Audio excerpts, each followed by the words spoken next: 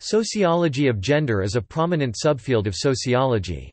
Social interaction directly correlated with sociology regarding social structure. One of the most important social structures is status. This is determined based on position that an individual possesses which affects how he, she will be treated by society. One of the most important statuses an individual claims is gender. Public discourse and the academic literature generally use the term gender for the perceived or projected self-identified masculinity or femininity of a person.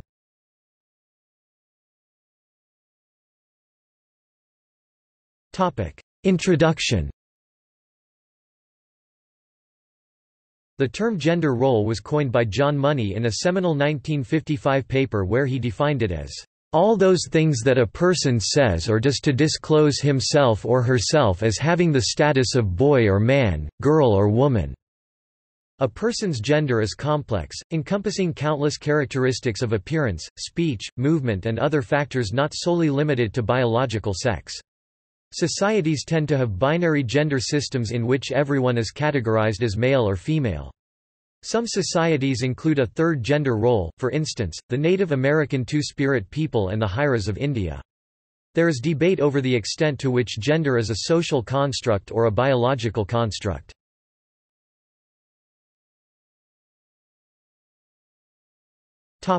In feminist theory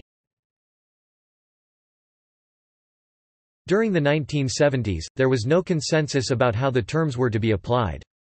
In the 1974 edition of Masculine, Feminine or Human, the author uses innate gender and learned sex roles, but in the 1978 edition, the use of sex and gender is reversed. By 1980, most feminist writings had agreed on using gender only for socioculturally adapted traits.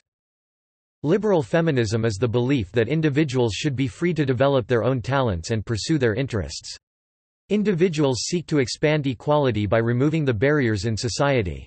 Socialist feminism thinks that capitalism strengthens patriarchy by concentrating wealth and power in the hands of a few. The traditional family structure should be replaced by a collective revolution. In radical feminism, they believe that patriarchy is so deeply rooted in society that even a sociological revolution would not end it, society must eliminate gender itself.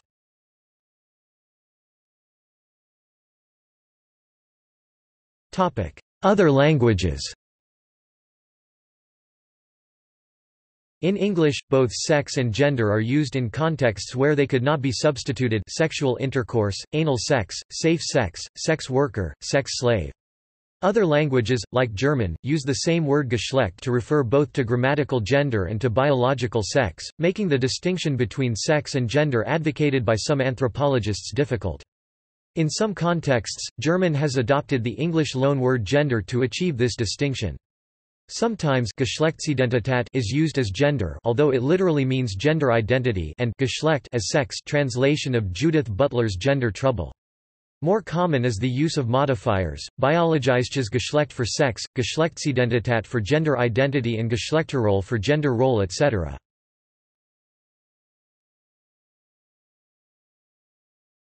Topic: U.S. media Media criticism is a reflection of the gender inequality in society through print, advertisements, television and music. Media influences and reinforces the idea of the beauty myth as discussed in Naomi Wolf's book, The Beauty Myth, How Images of Beauty Are Used Against Women, which refers to unrealistic standards of beauty for women. Some argue that the mainstream media perpetuates the idea of heteromasculinity by portraying men as dominant. Some also argue that the media objectifies and oppresses women, and men who don't fall into the heteronormative category.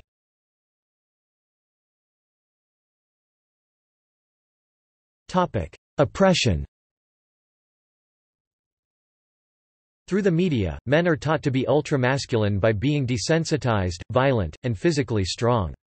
Other forms of media that often portray the ultra-masculine figure are advertisements, specifically beer commercials. These forms encourage men to oppress other men if they do not fit the ideals of heteromasculinity.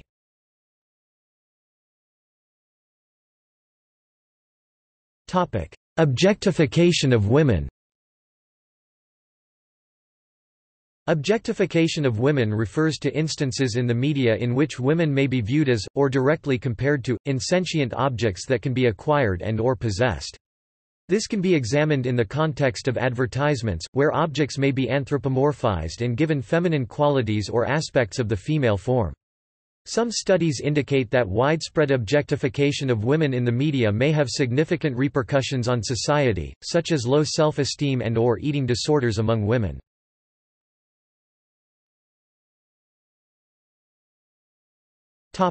Gender and socialization Socialization theory offers a straightforward account of the acquisition of gendered identities. Infants are seen as blank slates, waiting to be written down on by their environment. Through their interactions with people close to them and exposure to the values of their society, infants learn what sex is attributed to them and what roles they are expected to learn. Reinforcement through rewarding gender-appropriate behavior and punishing what may seem as deviant behavior socializes children into their genders. Parents, for example, are far more likely to engage with their sons in rough physical play than they are with their daughters, and it has been argued that long-term consequences may follow in this case, a head start for boys in the development of physical violence and aggressiveness. Parents and family can influence the way that a child develops their view of gender. These types of influences can include parental attitudes and difference of treatment regarding male and female children. Researcher Susan Witt claims that parents also expose children to gender from the time they are born via specific toys, colors, and names associated with genders in the binary. Witt suggests that parental attitudes about gender can differ from male to female children and that these attitudes develop quickly after a child's birth. Author Susan Grieshaber, in Constructing the Gendered Infant, suggests that attitudes regarding pregnancy change after parents find out the sex of their child, subsequently changing parental attitudes towards the unborn child. According to Grieshaber's theory, once parents determine the sex of their unborn child, they assume a gender while planning for the child's arrival. Because of this, Grieshaber claims that infants are born into a gendered world where they never know anything other than the gender traits that are assumed due to their sex. Dr. Kara Smith utilizes similar theory throughout the analysis of her pregnancy journals kept throughout her second pregnancy. Smith concluded that her attitude towards her child changed after learning that her child's sex was male. Smith's claim is reflected in changes in tone of voice when talking to the unborn child as well as differences in physical touch of her stomach throughout the rest of her pregnancy. Another theory of gender socialization, discussed by Susan McHale, is that the gender roles and attitudes of older siblings can impact the gender roles adopted by younger children. Throughout the findings of McHale's study, it is maintained that parents still have the most familial influence on childhood socialization. By the time children reach the age of three, many will have acquired a firm sense of themselves as male or female, a gender identity that remains throughout life. In addition, many preschoolers develop a firm awareness of gender stereotypes, insisting that certain activities or items of clothing are not for girls and others not for boys. Yet gender identity does not automatically follow from biological sex, adults respond differently to communicative efforts of boys and girls. A study of infants aged 13 months found that when boys demand attention, by behaving aggressively, or crying, whining or screaming, they tended to get it. By contrast, adults tended to respond to girls only when they used language, gestures, or gentle touches. Girls who used attention seeking techniques were likely ignored. There was little difference in the communicative patterns at the start of the study, but by the age of two, the girls have become more talkative and boys more assertive in their communicative techniques. The norms that are taught throughout childhood are influential in an individual's life because the ideas about gender that are typically taught by parents in early years are reinforced outside of the home. A study done by Dr. Mick Cunningham states that the normative behaviors and attitudes that children observe can influence the way that these children grow up to structure their own households in adulthood. Normative gender roles can be reinforced outside of the household, adding power to these hegemonic ideas about gender. An analysis of children's books in the 21st century, by Janice McCabe, suggests that this particular avenue of children's media symbolically annihilates females, representing them about half as often as that of males. Underrepresentation such as this can affect children and their views of gender. Children's TV networks, such as Disney, Nickelodeon, and Cartoon Network have demonstrated a disproportional representation of males and females on their respective shows in a study done by Beth Hentges and Kim Case. According to Hentges and Case, there are less female characters across all three children's networks, however, there is more propagation of stereotypical gendered behavior on Cartoon Network and Nickelodeon than that of Disney.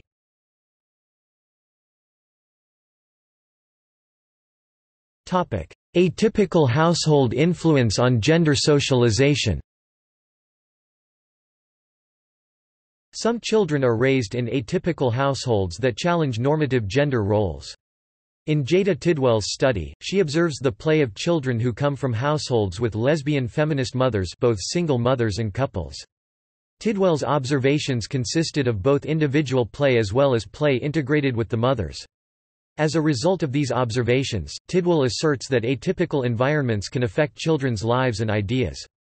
According to Tidwell, households that challenge hegemonic cultural ideas ultimately give children a different perspective of gender than those of children raised in heterosexual, two-parent households. In the families studied by Jada Tidwell, children reported ideas that both endorsed and challenged stereotypical gender roles at times. In a different study, Abby Goldberg observed toddlers from various types of households and how these children engaged in play. Goldberg's findings suggest that children whose parents are of the same gender tend to play in ways that are less adherent to stereotypical gender roles than children from heterosexual households. Susan Witt, in her article Parental Influence on Children's Socialization to Gender Roles, advocates for androgynous gender roles in parenting, arguing that environments are more open-minded about gender and encouraging to both their sons and daughters.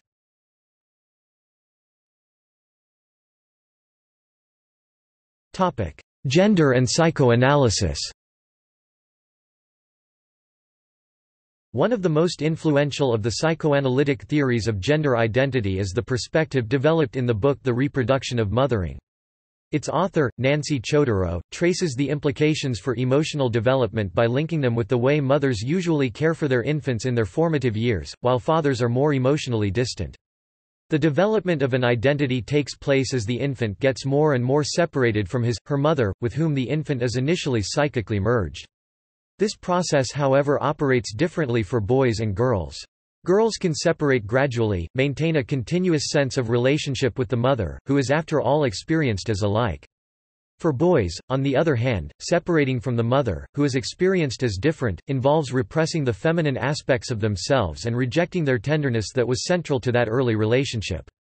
Boys' sense of maleness, according to Chodorow, is achieved at a great emotional cost, consequently, men grow up to have a more autonomous sense of self, and to be more independent, more instrumental and competitive in their dealings with others.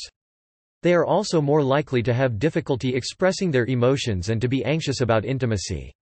Women, on the other hand, have more ability and more need to sustain relationship with others, they have greater empathy with others. They have difficulty however in maintaining the boundaries of an independent and autonomous self. Chodorow however believes that these patterns aren't inevitable. Changes in the social arrangements for care of children such as dual parenting, which would involve fathers in emotional intimacy with their children, can break the cycle.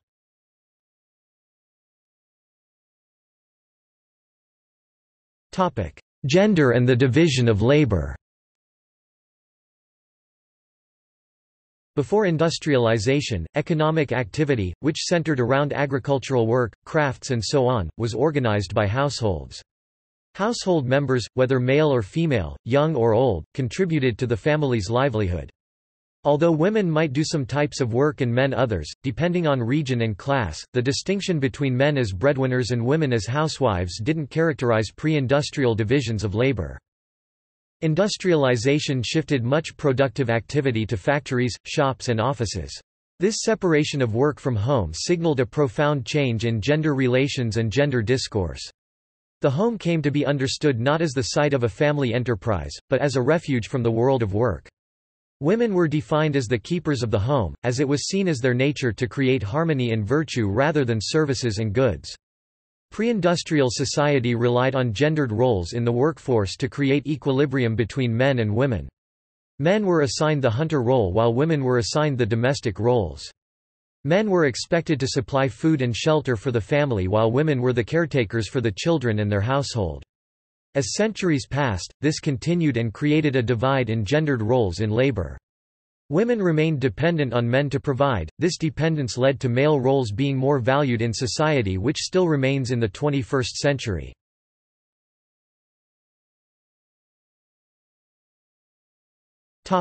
Gender in conversation Some research has found that, in classroom settings, male students tend to talk more, and longer, than female students. This was determined to be particularly noticeable when the instructor is male. Similar results were found previously in hospitals by Erving Goffman in 1961, university discussion groups by Elizabeth Aries in 1972, and in corporate settings by Rosabeth Kanter in 1977.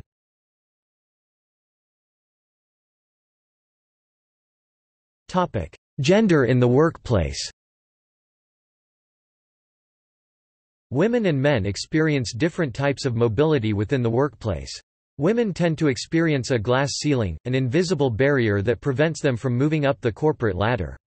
Men in jobs traditionally held by women, such as nursing, elementary school teaching, and social work, experience a glass escalator effect in which they are able to quickly ascend the job hierarchy to become managers and principals.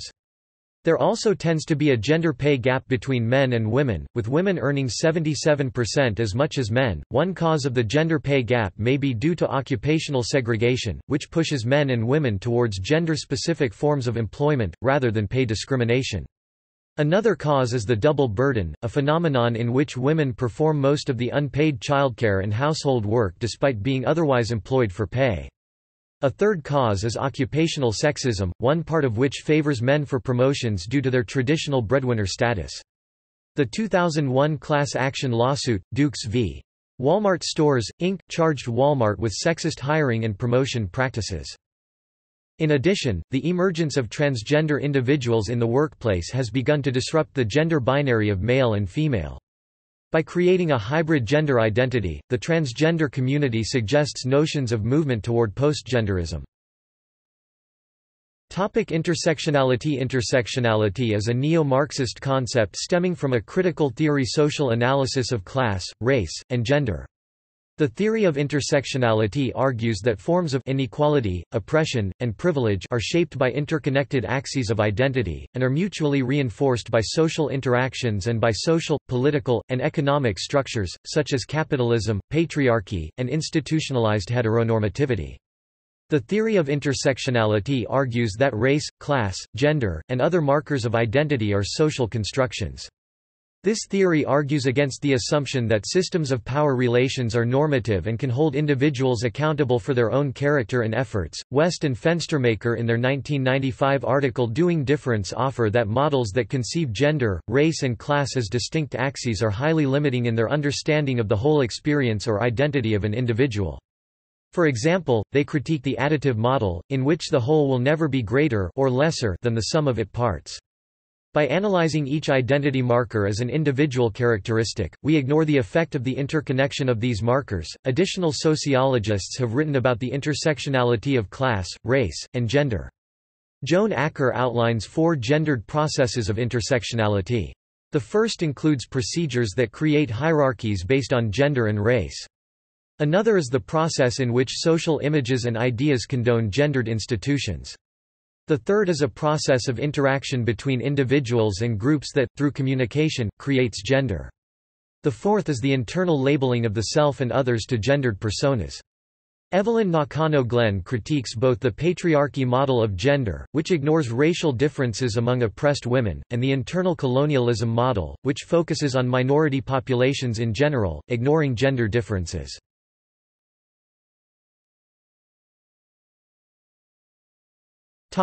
Embodiment Embodiment may be defined as the ways in which cultural ideals of gender in a given society create expectations for and influence the form of our bodies. There is a bidirectional relationship between biology and culture. By embodying societally determined gender roles, we reinforce cultural ideals and simultaneously shape, both temporarily and permanently, our bodies, which then perpetuates the cultural ideal. While there is actually more variation in body type within the male and female sexes than there is between the two sexes, embodiment exaggerates the perceived bodily differences between gender categories. Social embodiment, for both men and women, is variable across cultures and over time. Examples of women embodying gender norms across cultures include foot binding practices in Chinese culture, neck rings in African and Asian cultures, and corsets in Western cultures. Another interesting phenomenon has been the practice of wearing high heels, which shifted from a masculine fashion to a feminine fashion over time. In the United States, the ideal body image and dimensions have changed for both women and men, with the body ideal female body shape becoming progressively slimmer and the body ideal for men becoming progressively larger. These differences are epitomized in the example of children's toys. G.I. Joe dolls depict the physical ideals for boys and Barbie dolls embody the ideals for girls. The beauty myth, as discussed in Naomi Wolf's book The Beauty Myth, How Images of Beauty Are Used Against Women, refers to the unattainable standard of beauty for women, which sustains consumer culture. In contrast, men's bodies are also dictated by cultural ideals of gender, as is evident in consumer culture—especially beer commercials—in which men are portrayed as outdoorsy, tough, strong, and manly.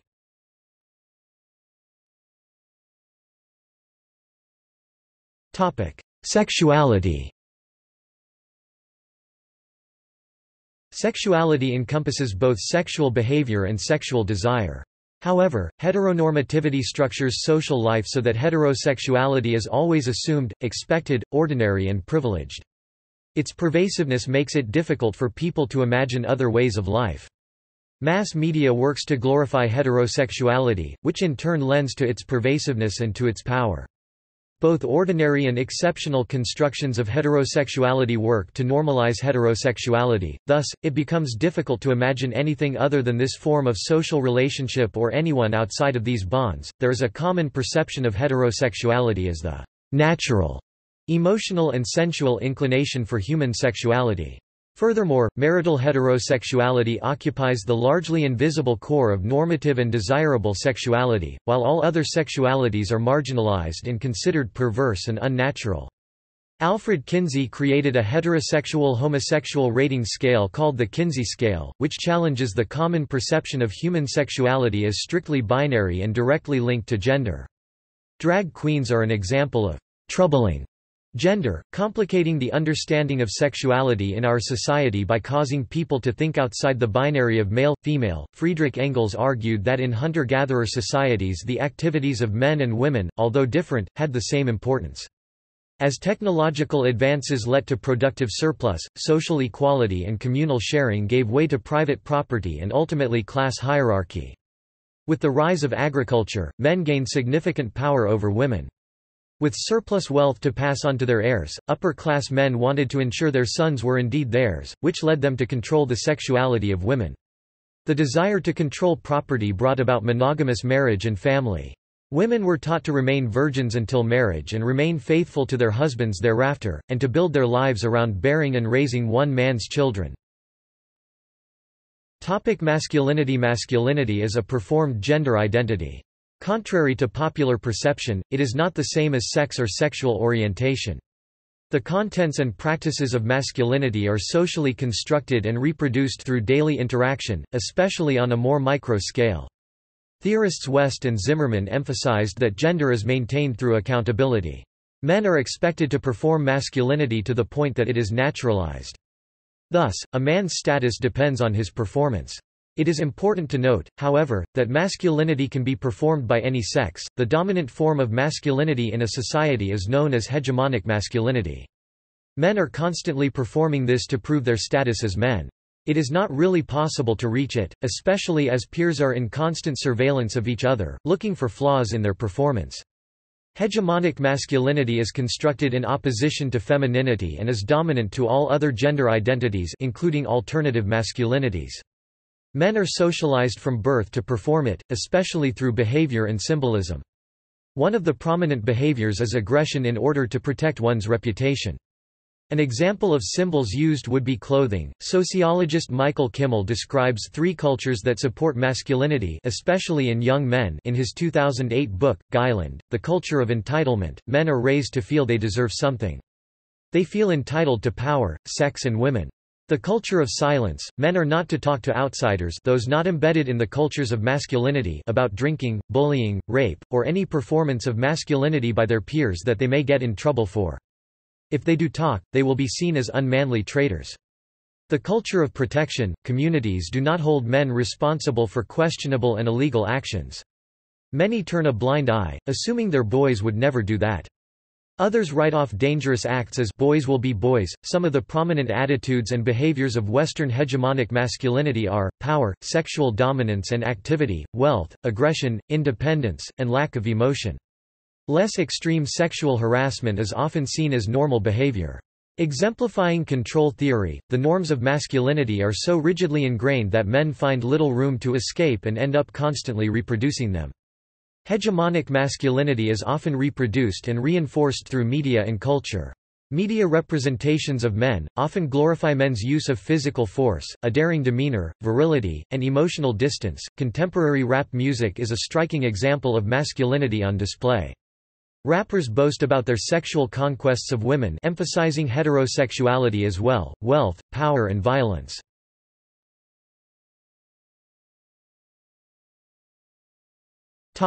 Gender and violence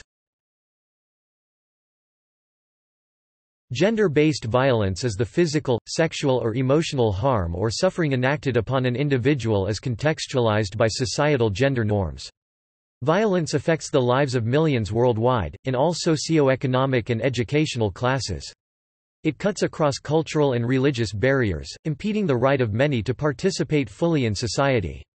Violence is about power, control, and domination. Systems of inequality and oppression interact positioning certain groups as particularly vulnerable to violence. Gendered violence takes place within a socially constructed power dynamic in which one ideology masculinity dominates another femininity. What it means to be a woman in society is influenced and ascribed by the media, which acts a powerful educational force. The media glamorizes violence against women cultivating a toxic cultural environment in which women are institutionally positioned as inferior and worthy objects of violence, men are disproportionately the offenders, and women disproportionately the victims. Those that commit violent crimes are overwhelmingly male. Rape 98%, armed robbery 92%, drunk driving 90%, murder 88%, aggravated assault 87%, arson 86%, and family violence 83%.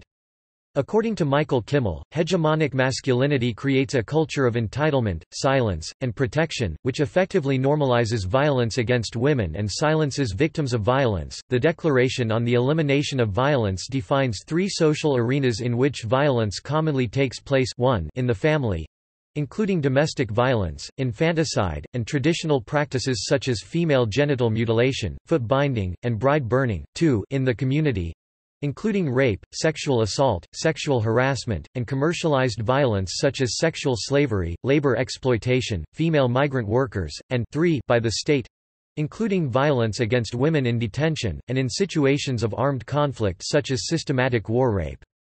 In order to address and end gendered violence, solutions must address both the root causes and interpersonal manifestations of gender roles and power relations in order to ensure a balance of power at all levels of society.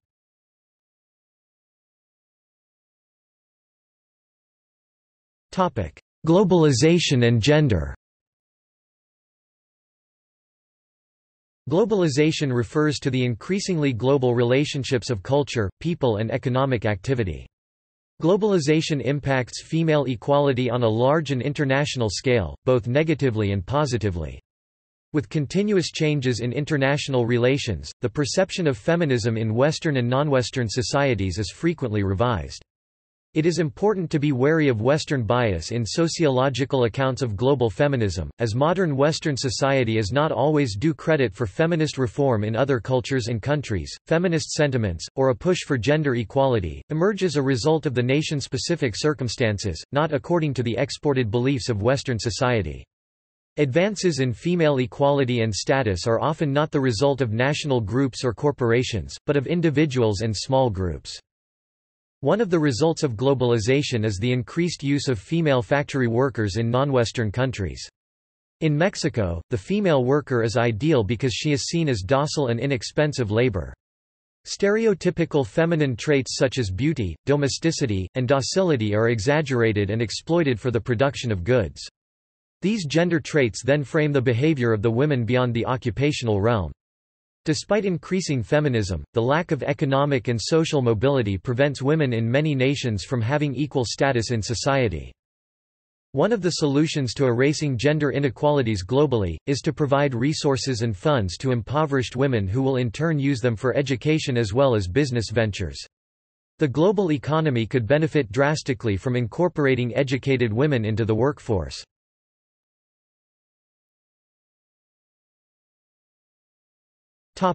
Third gender Throughout history, and around the world, the idea of a third gender has existed. In Native American culture, the two-spirit had gender roles different from men and women. The Muxes of southern Mexico are males who identify as neither male or female. In Samoa the Fa'afafine are biological males who identify as females. The Hijra are biological males who identify as women. They are considered outsiders in their communities and have formed their own language. In the United States, the concept of a third gender is beginning to gain traction. California now allows for driver's licenses to have the gender non-binary. See genderqueer.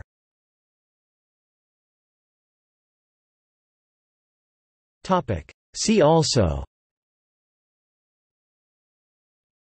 Atypical gender role Bibliography of sociology Feminization sociology Sex differences in humans Gender role Sex segregation Sexism